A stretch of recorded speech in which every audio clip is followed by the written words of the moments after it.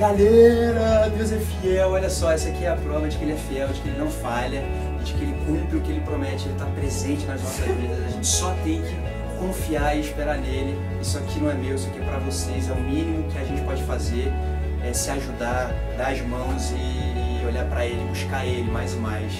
Né? Então estou tão feliz, tão feliz, eu queria poder explicar e expressar com palavras, mas eu deixo para vocês meu beijo, meu sincero obrigado. Vocês me marcaram, vocês me tocaram.